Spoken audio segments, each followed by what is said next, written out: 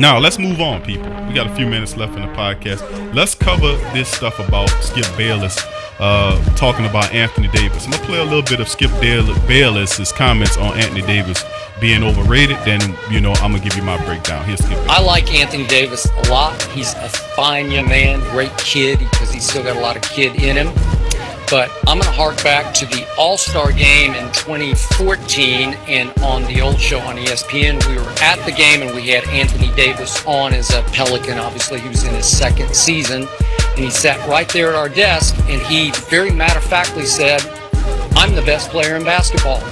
And you would think that would resonate, that would have shock value, that would catch fire, that would trend on the internet. Yeah. No, it didn't because there's not a lot of electricity to his presentation to the media. Right. He's pretty matter of fact, he's pretty low key when he speaks.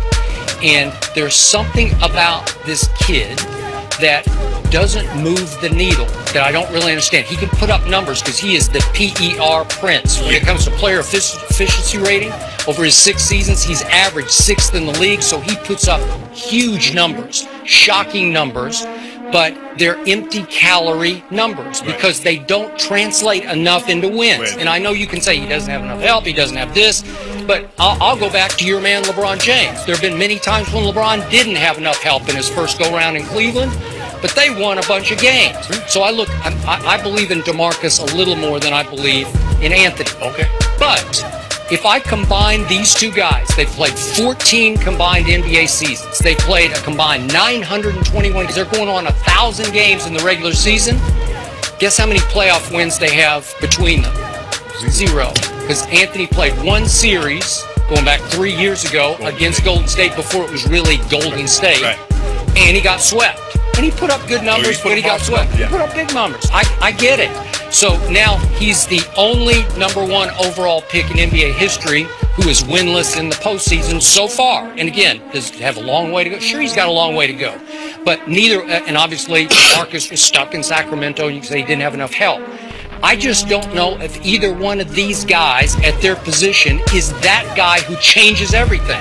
So for me, and, and I hate to be too critical of Anthony because I, I do like him a lot personally, but given his numbers, given the numbers he can put up, and given his player efficiency rating, yeah. he's the most overrated player in basketball to me because he doesn't have anything to show for it. Yeah, I think the thing is, Skip, when you look at his numbers. That's Skip Bayless, man.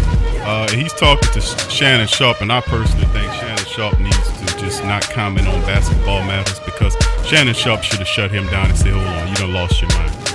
And sometimes I would think that Skip Bayless is an intelligent man, I think. And Skip Bayless, use he sometimes you know he does this this clickbait stuff and the things he did, like for instance, the stuff that he did with LeBron James. He was criticizing LeBron James back in the day when LeBron James was excelling, when LeBron James was winning league MVPs, when LeBron James was leading his teams to the championships. This clown's still out there uh, criticizing the man. First of all, let's let's get something straight. Anthony Davis is a grown ass man. He's not a kid. Okay, stop the bull crap. You're not in college. You can call the college kids, kids, whatever. This man's grown ass man. He's been in the league for some time. That's number one. Cut it out. Second thing is Anthony Davis is not the general manager of the New Orleans Pelicans. Okay. Now what we're gonna do is we're gonna we're gonna, have an, we're gonna extend the show just a little bit so we can cover both these interviews from these uh, comments or uh, topics from Skip Bayless and uh, Stephen A. and also the preview for the Dallas Mavericks game. Anthony Davis is not the general manager of the New Orleans Pelicans. His name is Dale Demps. Dale Demps has made some really, really shitty calls. Some of them really shitty and terrible calls. It's not his fault. Let's take a look at some. You know what? Let's spand out on that. I'm gonna go. I'm gonna dig into that because that needs to be known. That when Anthony Davis came here, he was playing. Dale Demps was tasked with the responsibility of pairing the right personnel with Anthony Davis. Did he do it? No, he did not do it early on just recently this year they really got some success. And the last time was when Monty Williams was finally getting some success. He got the team into the playoffs on an excellent late season run, including one of the big wins of knocking the San Antonio Spurs out in the last game of the year, which ultimately dropped the Spurs from where they at, where they were at number two, all the way down to outside the top five, which affected them when it came when the playoffs hit. The Pelicans did make the playoffs and got and had got swept against the, the Golden State Warriors. At one point, in a couple of games, they were up in double digits, but that was the Golden State Warriors, and they became the you know they took off from that point. Dale Demps had not built the correct team around him. He made a series of, really shitty moves, uh, uh, bringing in people like Ty- Tyreke Evans, who just didn't fit, Eric Gordon, who was who was really shitty and when uh, who wanted to leave, but then he forced him to stay. Amir Asik, who I really like, Amir Asik, but we shouldn't have gave up a first round pick to get him from Houston. Then when he gets here, then when he gets here, the guy you overpay him give him 11 something million dollars. When he finally comes back off his injury, they do not play him. They finally trade him, but they can't move him because the contract was so bad. That's the contract that Demps gave him. Then they ship him to Chicago with a first round pick. So you took two picks away from the team to get one player. That is how you build a team. They acquired Darius Miller, another second round draft pick players. They couldn't develop them. Those guys had to go somewhere to get developed, then come back to contribute. That is a problem. That is not Anthony Davis's issue. That is Dale Dempson administration issue and their failure to build a competent team around Anthony Davis. This year is different because their asses was on the line. They didn't want to lose their jobs. Both those guys, the administration knew that if they didn't get it right this year, that's why they're moving with such determination to make sure this team plays better, get the personnel pieces because their asses are on the line this year. So we got to take that away from Anthony Davis. And the third thing to talk about, to, to, to lambaste your ass, is to show you the stats that Anthony Davis has been averaging since DeMarcus Cousins went down. Averaging 34 points a game, 13 rebounds a game, two and a half assists a game, two and a half steals a game, almost three blocks a game, and he's shooting 50, uh, 82%, uh, uh, shooting 80, 82% from what is that, the free throw line? I mean, that that's got to be that's terrific numbers. He's averaging 34 points a game, 13 rebounds, two and a half blocks, two and a half steals, and it, that's just a small comparison of some of the numbers. How dare you say that that that translated in wins? They moved from the cellar. At one point, they were outside of this, the the Western Conference playoff race. They were ninth. They moved up with seven straight wins. They knock off the Spurs. That's the seventh straight win. They now climb into the top five.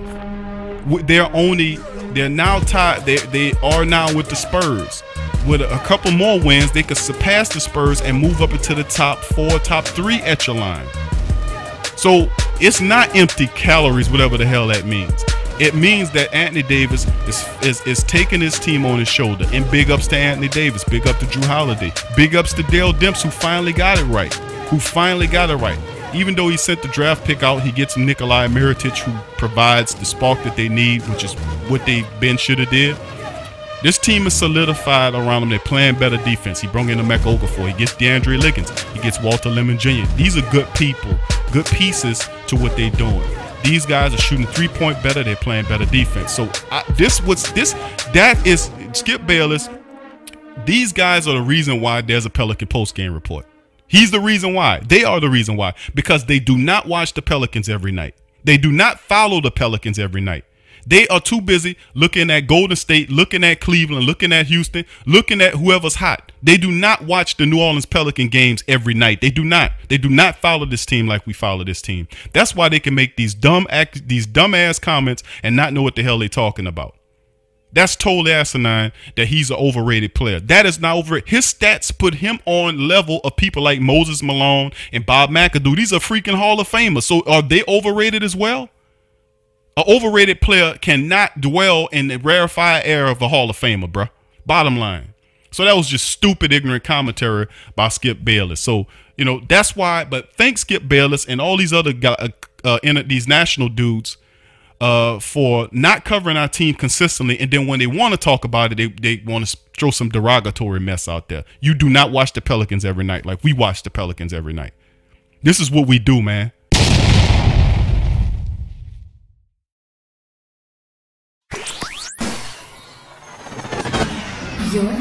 To the Pelicans post-game report on the PRO Media Network for all things Pelicans.